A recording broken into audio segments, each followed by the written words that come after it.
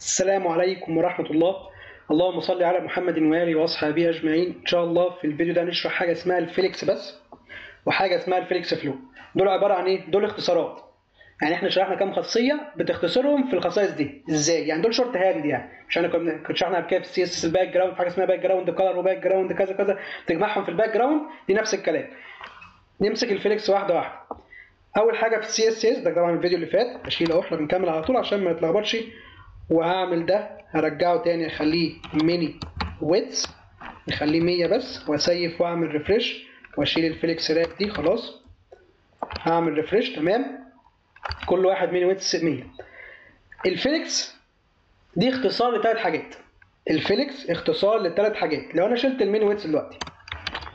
طبعا مفيش مفيش width خالص. طيب قال لي ال flex دي اختصار shorthand لثلاث حاجات. إيه هما؟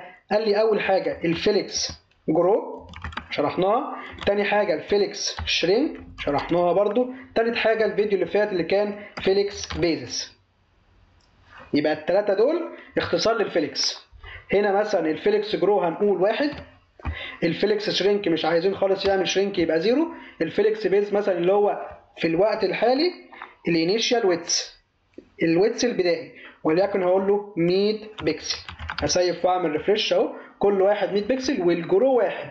يملى لكل واحد قد القدر المستطاع. ياخد ال width ياخد كفايته يعني من ال width.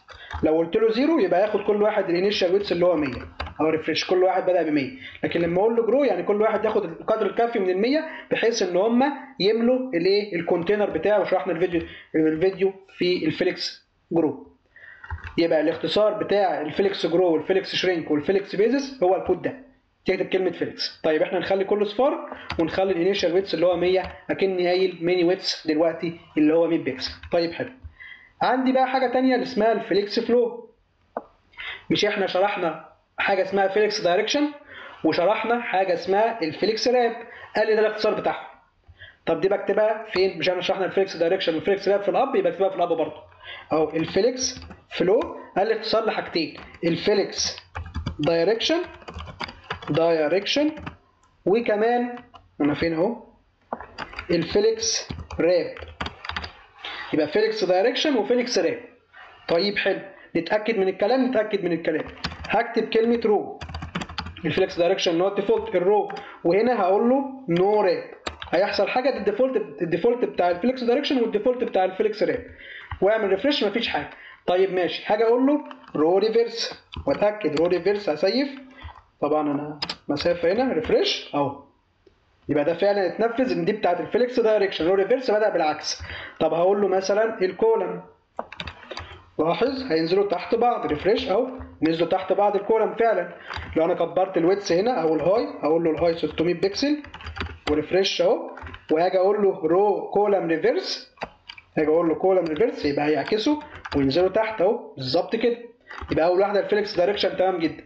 طب لو جيت قلت له مثلا row أخليه أرجع خالص هقول له row refresh أهو. وهاجي أكبر ال widths بتاعهم مثلا وليكن 200 أهو refresh وهاجي أعمل هقول له wrap هقول له wrap عادي refresh أهو.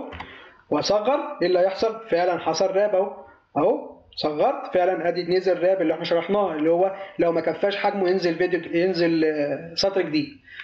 تمام جدا. وبرده نفس الكلام wrap reverse. يبقى الفكرة ببساطة ال flex flow هي اختصار للأكواد اختصار ال flex direction واختصار لل flex wrap تكتب الاثنين جنب بعض بالخصائص بتاعتهم.